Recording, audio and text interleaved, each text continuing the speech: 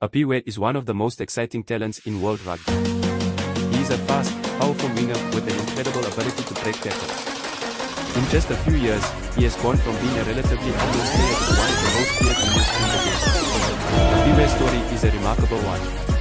He grew up in a small village in Eastern Cape, South Africa, and he didn't start playing rugby until he was 15 years old. He quickly showed promise, but he was also very shy and didn't have much confidence. After high school, Aphiwe decided to stop playing rugby. He started studying marketing at the University of Johannesburg, and he didn't think he was good enough to make it as a professional rugby player.